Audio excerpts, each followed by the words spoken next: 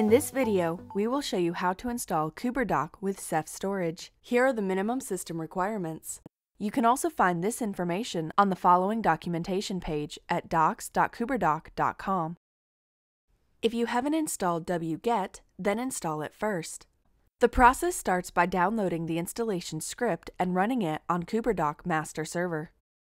Log in to the master server console as root using your preferred SSH terminal application and perform the following steps. Download the installation script by running the following command. You can find it in the reference article accompanying this video. To install Cluster with Ceph support, the following options for the deploy script must be defined. Ceph user followed by username, where username is a name of a user in Ceph cluster, in Ceph config, it is client username.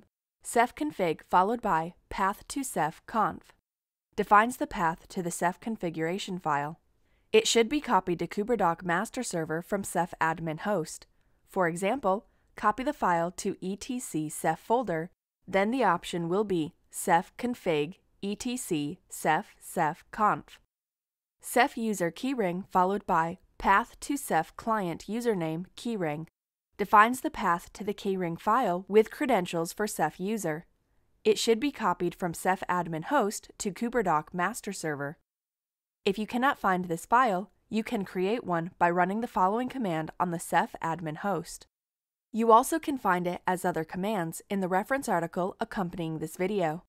Finally, to start KuberDock installation, deploy script with Ceph support that you need to run the command which looks as follows. You'll need to enter just a bit of additional technical information during the installation process. Enter the IP address of the KuberDock internal network interface for master server to connect to the nodes or press enter. Enter interface to bind public IP addresses on nodes or press enter. When installation is completed, you will see the completion message and the saved log location.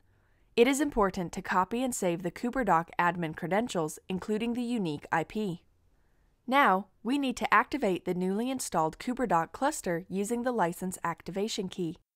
You can obtain it in your CLN account. It's also sent to you via email upon the trial activation or license purchase.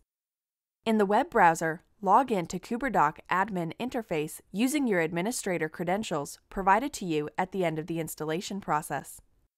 Go to the Settings page and click License. Click the Edit icon next to the Installation ID field and fill in your activation key and click Apply.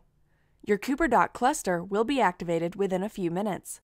The type of license is displayed at the top. That's it! We have just finished the KuberDock master server installation with Ceph support.